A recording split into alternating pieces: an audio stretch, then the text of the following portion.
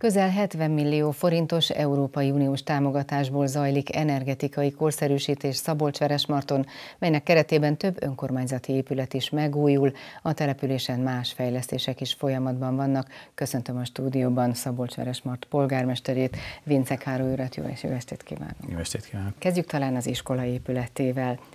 Hány személyes ez az iskola, hány gyerek tanul itt, és mikor történt utoljára valami érdemleges felújítás? Talán, ha visszamegyünk a múltba, közel három évtizede épült ez a létesítmény. Nyilván megérett a felújításra. Az első kérdése meg a válasz pedig 114 gyerek tanul most jelenleg az általános iskolában minden évfolyamon. És ez az iskola már elavult ablakokkal és nyilányzárókkal rendelkezett, ezért nagyon-nagyon megérett a felújítása. Ezek szerint elsődleges cél az energia racionalizálás, költségcsökkentés? Természetesen, természetesen, tehát nyilászáró cserével, illetve hőszigeteléssel.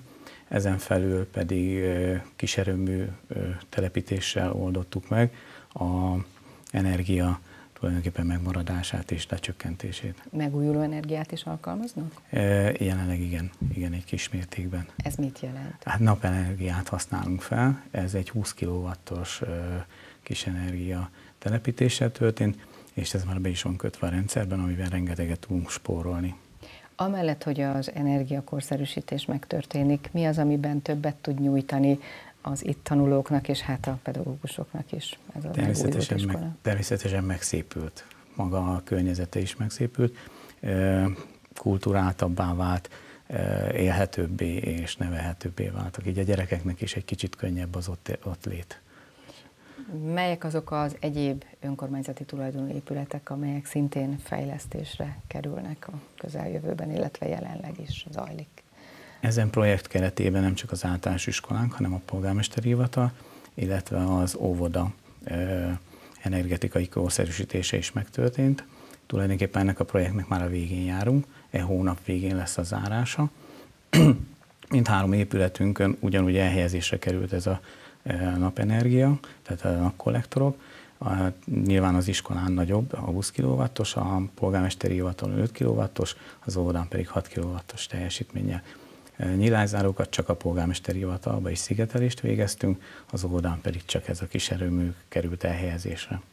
Milyen pályázatról beszélünk, milyen finanszírozásról ez a projekt? Ez Európai Uniós Top 3-as keretében megvalósuló pályázatról beszélünk. Nyilván ezen felül van egy Top 4-es pályázatunk is, ami az orvosi rendelő teljes felújítását jelenti. Ez tulajdonképpen két lábon álló pályázat. Az egyik ez a top 4 keretében Európai Uniós, ez 60 milliós forintos pályázat, illetve a BM, tehát saját erőforrásból származó 28 millió forinttal kiegészített pályázat, tehát így 88 millióból tudjuk felújítani és teljesen korszerűvé tenni az orvosi rendelőnket. Hogy egy picit képbe kerüljünk, hogy mekkora volumenű ez a beruházás, ez a, ez a pályázat tulajdonképpen az önkormányzat költségvetéséhez képest hol tartunk? Nekünk ez nagyon-nagyon sokat számít, tehát ez, ez egy borzasztó nagy beruházás. Ez a kettő, amit elmondtam, ez tulajdonképpen egy harmada egy éves költségvetésnek a településünknek.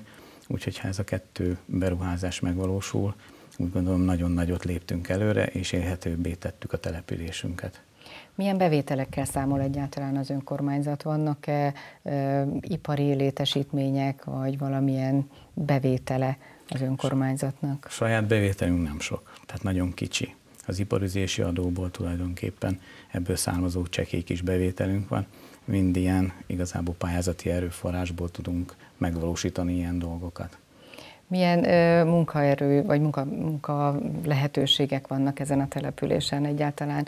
Itt ezek a beruházások, amennyire én észlelem, ezek az élhetőség fokozását célozhatják. Mi az, ami itt tarthatja a lakosságot? Én úgy gondolom, hogy a természeti adottsága ennek a településnek nagyon jó.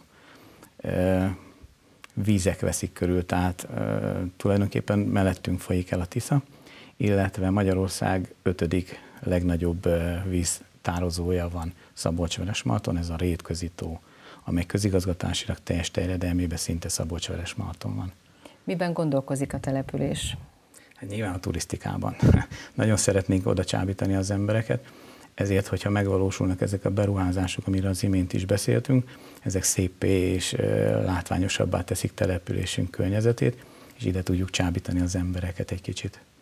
Úgy tudom, Erdei iskola is épült ezen a településen. Mennyire népszerű ez az iskolák körében? Kik azok, akik látogatják ezt? Vagy Igen. Parkkal, vagy, vagy, vagy használatba veszik? Igen, ez még nagyon friss. Tehát most volt a átadása ennek úgynevezett hobbitlak. Tehát ezt úgy kell elképzelni, mint egy kis hobbitház.